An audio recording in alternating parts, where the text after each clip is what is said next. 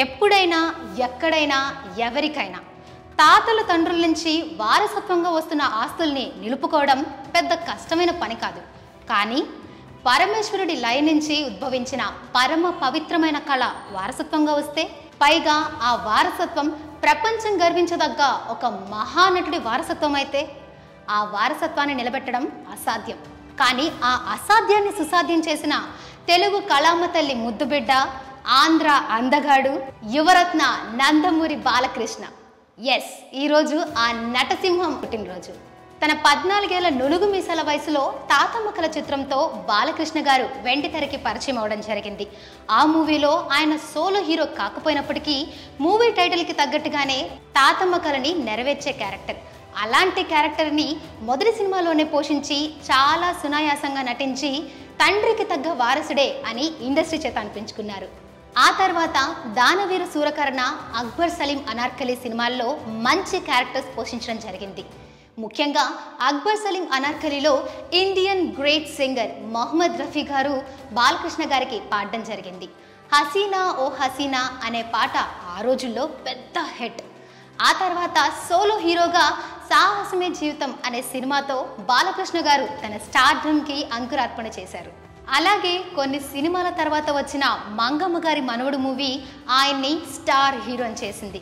ఆ మూవీలో ఆయన కట్టిన పంచకట్టు స్టైల్కైతే తెలుగునాట విపరీతమైన క్రేజ్ వచ్చింది.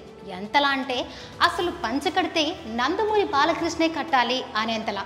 అప్పట్లో ఆంధ్రప్రదేశ్లో చాలా ఏరియాల్లో మంగమ్మ గారి మనవడు పంచులు అని అమ్మేవాళ్ళంటే ఆ మూవీతో బాలకృష్ణ గారు సృష్టించిన ప్రభంజనం ఎలాంటిదో అర్థం చేసుకోవచ్చు. అలాగే బాలకృష్ణ గారి స్టైల్లో కూడా పంచకట్టిన వాళ్ళు ఎంతో మంది ఉన్నారు.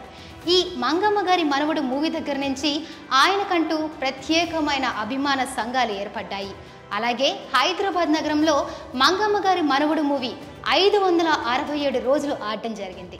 కళ్యాణ వైభోగమే శ్రీ సీతారాముల కళ్యాణమే అనే పాట నేటికి చాలామంది పెళ్ళిళ్ళలో వినబడుతూ ఉంటుంది. ఈ పాట ఆయన నటించిన సీతారామ కళ్యాణం సినిమాలోనిది. ఆ తర్వాత వచ్చిన ముద్దుల మావయ్య సినిమాకైతే బాలకృష్ణ గారిని తెలుగునాట చాలామంది ఆడవాళ్ళకి అన్నయ్య చేసిందని చెప్పొచ్చు.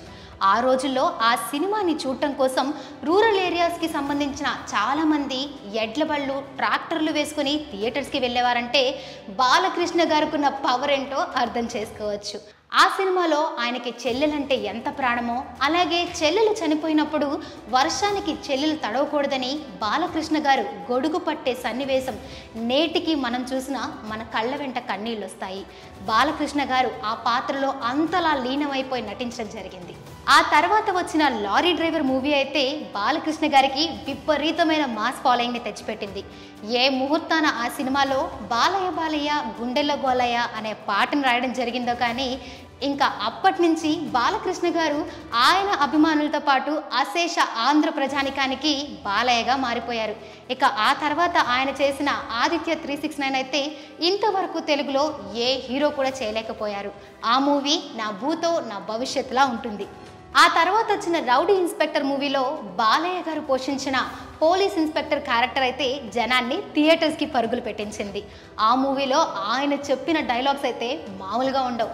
సింహాన్ని మాత్రమే సింహం అని ఎందుకంటారో మనకు అర్థమవుతుంది అలాగే అప్పట్లో ఈ మూవీలోని డైలాగ్స్ని క్యాసెట్స్ రూపంలో రిలీజ్ చేస్తే రికార్డు స్థాయిలో అమ్ముడవడం టాప్ ఆఫ్ ది ఇండస్ట్రీ అయ్యింది. ఆ రౌడీ ఇన్స్పెక్టర్ మూవీ ఎంతగా ప్రబంధం సృష్టించిందంటే పోలీస్ క్యారెక్టర్ వేస్తే బాలయ్యే వేయాలి అనేంతలా. అలాగే ఆ మూవీలో అన్ని సాంగ్స్ కూడా సూపర్ డూపర్ హిట్ అయ్యాయి. నేటికి చాలా చోట్ల వినపడుతూ ఉంటాయి. భైరవ ద్వీపం. తెలుగు సినిమా పరిశ్రమ చాలా సంవత్సరాల కిందటే మర్చిపోయిన జానపదని తిరిగి పరిచయం చేసిన మూవీ. ఈ మూవీలో ఆయన పోషించిన పాత్ర మామూలుగా ఉండదు. విజయుడు అనే క్యారెక్టర్లో వీర లెవెల్లో బాలకృష్ణ గారు వీర విహారం చేశారనే చెప్పొచ్చు. అలాగే శ్రీకృష్ణార్జున విజయం లాంటి సినిమాలో కృష్ణుడి పాత్ర పోషించి తెర మీద కృష్ణుడి పాత్రలో నటించాలి అంటే అది మా నాన్నగారు నేను మాత్రమే అనేలా ఆయన కృష్ణుడిగా మెప్పించడం జరిగింది.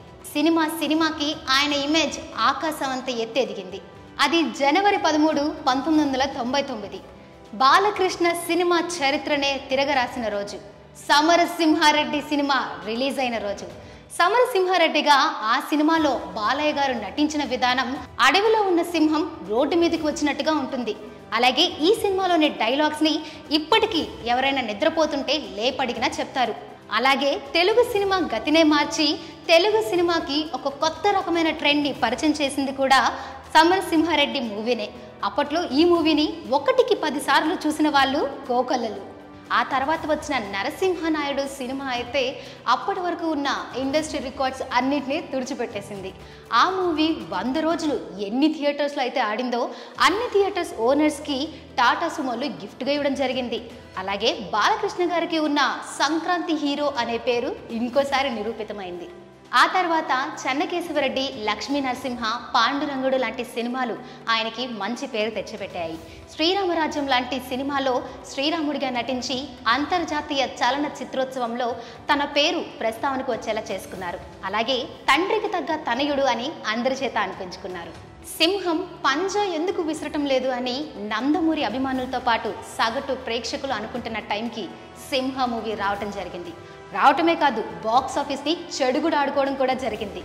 ఆ మూవీలో కేవలం బాలయ్య గారు చెప్పిన డైలాగ్స్ వినటం కోసమే ఒకటికి ఐదు సార్లు చూసిన వాళ్ళు కోకొలలు. అసలు ఒక పవర్ఫుల్ డైలాగ్ని విడమరిచి క్లియర్ కట్గా అర్థమయ్యేలా విలన్కి వార్నింగ్ ఇవ్వటం అనేది ఒక్క బాలయ్య గారి వల్లే సాధ్యమవుతుంది. వాటి తర్వాత వచ్చిన చాలా సినిమాలు విజయం సాధించాయి. వాటిల్లో లెజెండ్ మూవీ మామూలు హిట్ కాదు. ఎంత రేంజ్ హిట్ అంటే ఇప్పటి వరకు మనకి వర్గ కల్లోలాలు కుల కల్లోలాలు మత కల్లోలాలు మాత్రమే తెలుసు. కానీ మొట్టమొదటిసారి లెజెండ్ కల్లోలం కూడా ఉంటుందనేది ఆ మూవీతోనే అర్థమైంది. ఆ మూవీలో బాలయ్య చెప్పే డైలాగ్స్కి థియేటర్స్ దద్దరిల్లిపోయాయి అనుకోండి ఆయన వందవ చిత్రంగా గౌతమిపుత్ర శాతకర్ణి లాంటి చారిత్రాత్మక సినిమాలో నటించి తెలుగు కళామ తల్లి రుణం తీర్చుకున్నారు. ఆ మూవీ ఇండియన్ సినిమాలో అత్యంత ఉన్నతంగా భావించే Edinburgh festival of Indian films and డాక్యుమెంటరీస్లో ప్రదర్శించడం జరిగింది. రీసెంట్గా ఆయన ఒక పెను విధ్వంసమే సృష్టించారు. ఆ విధ్వంసం పేరు అఖండ. తెలుగు సినీ పరిశ్రమ స్తబ్దుగా ఉన్నప్పుడు వచ్చిన అఖండ మూవీ చిత్ర పరిశ్రమకి సరికొత్తగా ఊపిరిని ఇచ్చిందని చెప్పొచ్చు. ఇంకా చెప్పాలంటే సరికొత్తగా పురుడు పోసింది. విపాత్రాభినయంతో ఆయన పోషించిన రెండు పాత్రలు సొసైటీని ఆలోచించేలా చేశాయి. అలాగే అర్ధశత దినోత్సవం అనే వర్డ్ని మర్చిపోయిన చిత్ర పరిశ్రమ అఖండ సినిమాతో అర్ధశత దినోత్సవాలకి నాంది పలికిందని చెప్పొచ్చు. అలాగే వంద సెంటర్లలో యాభై రోజులు పూర్తి చేసుకుంది. సుమారు ఇరవై సెంటర్లపైనే వంద రోజులు పూర్తి చేసుకుంది. అలాగే జన్మనిచ్చిన తండ్రికి రుణం తీర్చుకోవడానికి ఎన్టీఆర్ బయోపిక్లో నటించడమే కాకుండా స్వయంగా ఆయనే నిర్మించడం కూడా జరిగింది. బాలయ్య మహానటుడి కడుపున పుట్టిన మీరు అంతే మహానటుడిగా ఎదిగిన తీరు భావితరాలకి ఒక ఆదర్శం. అలాగే మీ అమ్మగారి పేరు మీద బసవతారకం ఇండో అమెరికన్ క్యాన్సర్ హాస్పిటల్ని స్థాపించి ఎంతోమంది క్యాన్సర్ పేషెంట్స్కి చాలా తక్కువగా క్యాన్సర్కి సంబంధించిన ట్రీట్మెంట్ని ఇప్పిస్తున్నారు. అలాగే ప్రజాసేవ చేయడం కోసం ఎమ్మెల్యేగా వర్క్ చేస్తున్నారు. బాలయ్య మిమ్మల్ని మేము ఎప్పటి నుంచో గమనిస్తున్నాం కాబట్టి మీ గురించి మాకు ఒక్క విషయం బాగా తెలుసు. మీ కోపం ప్రేమ పరమేశ్వర తత్వం. మీరు మా బోలా శంకరుడు మా తెలుగు ఇండస్ట్రీకే బోలా శంకరుడు మీకు మా తెలుగు ఫిల్మ్ నగర్ తరపున జన్మదిన శుభాకాంక్షలు. జై బాలయ్య జై జై Balayya.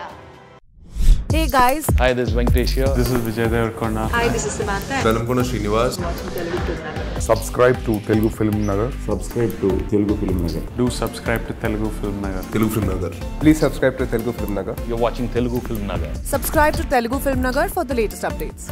Telugu film Nagar చిన్న బెల్ ఐకాన్ ఉంటుంది అని నొక్కండి